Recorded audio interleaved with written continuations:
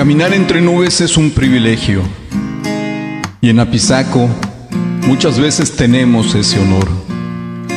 Salir rumbo a la escuela un poco antes de las 7.30 de la mañana. Llegar a la esquina de mi calle sin pavimentar. Mirar en todas direcciones y descubrir que la vista no alcanza más allá de unos cuantos pasos. Caminar entre nubes es un privilegio.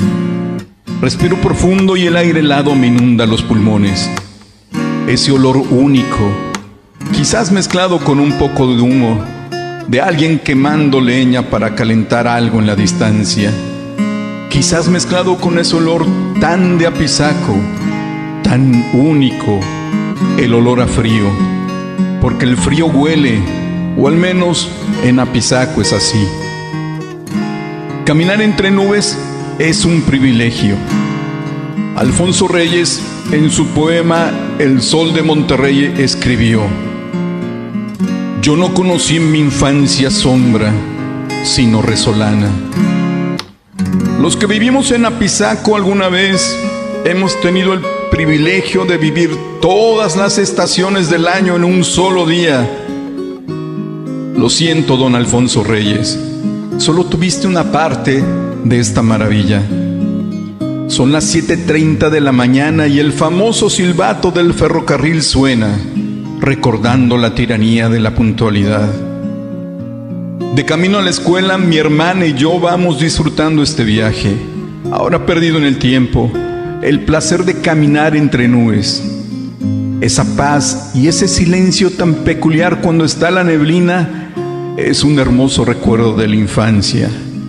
7.45 y otro silbido.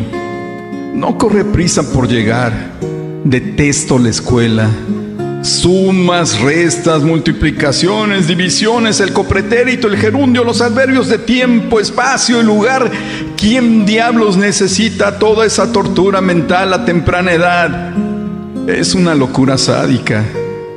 Yo lo que quiero es mirar por la ventana, hacia los volcanes, Imaginarme que exploro esas laderas nevadas en un trineo y escalando sobrevivo una avalancha.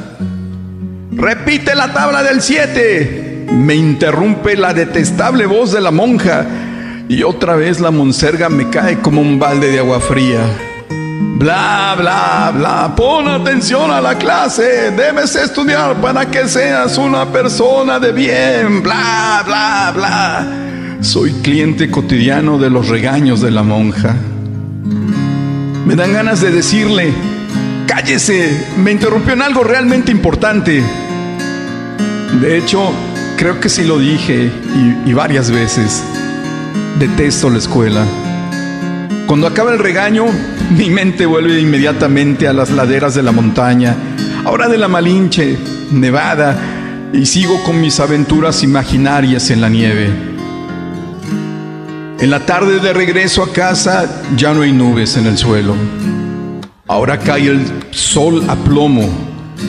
Quema como si estuviéramos en el desierto del Sahara. Los labios partidos, la sed y el peso muerto de chamarra, bufanda, gorra y mochila es una carga insoportable.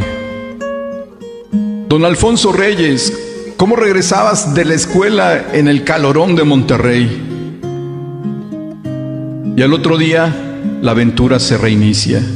Caminar entre nubes es un privilegio y en Apizaco muchas veces tenemos ese honor.